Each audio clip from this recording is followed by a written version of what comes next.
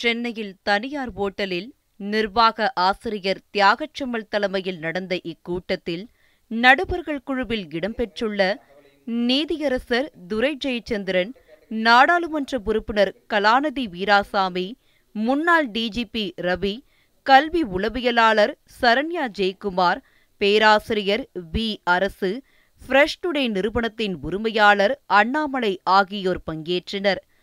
தமிழ் சமூகத்தின் ரத்தினங்களுக்கு விருது வழங்கி கௌரவிக்கும் நிகழ்ச்சியின் முதற்கட்டமாக விருதாளர்களை தேர்வு செய்த நடுவர்களை வரவேற்று நியூஸ் செவன் தமிழ் தொலைக்காட்சியின் நிர்வாக இயக்குனர் சுப்பிரமணியன் பேசினார். அப்போது சாதனையாளர்களை அங்கீகரித்து பாராட்டுவது அவர்களுக்கு ஊக்கமளிக்கும் என்று அவர் தெரிவித்தார். நூற்றுக்கும் மேற்பட்ட பரிந்துரைகளில் இருந்து கலைரத்னா இலக்கிய ரத்னா இசை ரத்னா விளையாட்டு ரத்னா வேளாண் ரத்னா சேவை ரத்னா தொழில் ரத்னா ஆகிய விருதுகளோடு மாற்று பாலினத்தவர்களுக்கான சக்தி ரத்னா விருதுக்கும் உரியவர்களை நடுவர்கள் குழு தேர்வு செய்தது. தேர்வு செய்யப்பட்ட விருதாளர்களுக்கு விரைவில் பிரம்மாண்டமாக நடைபெறும் நிகழ்வில் விருதுகள் வழங்கப்பட உள்ளது.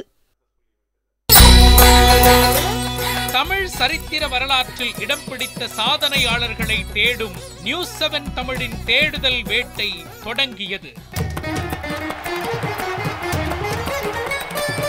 விரைவில்